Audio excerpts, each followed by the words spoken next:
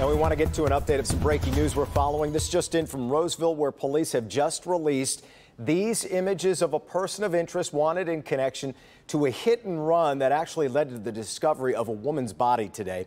Police say this man is between the ages of 17 and 20, wearing a gray Nike sweatshirt and black sweatpants.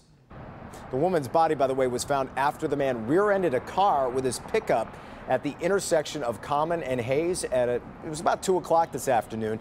The woman's body was in the bed of the truck. Police have identified the victim as a 62-year-old woman from Roseville. The cause of death has not been determined as of now, but police are calling it suspicious. Anyone with information is asked to call the Roseville Police Department.